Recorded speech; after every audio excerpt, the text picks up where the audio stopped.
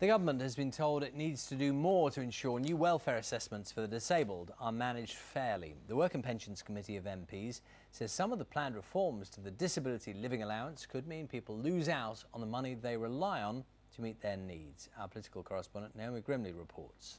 If you run your hand down the front of your legs, Face to face assessments already form part of the benefit system, in this case to find out if a person is fit for work.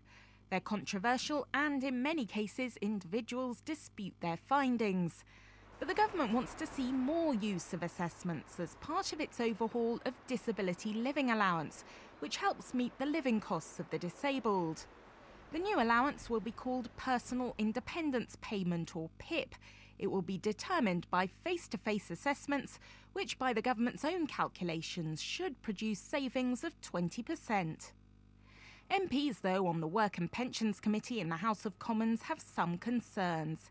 They tell ministers the new assessment needs to be empathetic and avoid box ticking. They also warn that assessments are still too reliant on the medical model of disability and may fail to take account of other factors, such as access to public transport. The committee acknowledges that the current system does need reform, but it wants the government to make sure the new PIP assessments have been rigorously piloted before they're rolled out nationally. Naomi Grimley, BBC News, Westminster. Well, let's talk more about this with our political correspondent Louise Stewart here with us now. Using that phrase ticking boxes amongst their criticisms, I mean, that is quite literally what this process does, isn't it? It's a point scoring system. It is. You get points on how you're assessed during this medical assessment, and if you reach a certain level, then you would be deemed fit to work, or perhaps have your benefits cut if you're not working.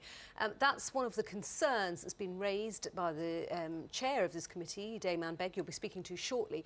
They're concerned that it's just too rigid, if you like, and perhaps doesn't take into account other factors about, you know, people with disabilities perhaps need to spend more on transport because they can't access public transport, or even things like wheelchair maintenance, things we may not consider. So there's a real concern that this is too arbitrary. It is ticking boxes and that if you you may be deemed fit to work or, or fit to not receive all the benefits you have been, but that's too arbitrary. But the government says that you know, the old disability allowance is outdated. They say looking at this system will save them 20%. And that's the concern, I think. You know, it's saving money, but will people be unfairly penalised? And that's why the committee is calling for this to be uh, brought in on a pilot system to see how the assessment works before it's rolled out across the country. OK, Louise, for the moment, thank you very much. Just a reminder for you as well, in a few minutes' time, we'll be finding out more about those concerns. We'll be speaking to its chair, Dame Anne Begg. That's in a couple of minutes' time.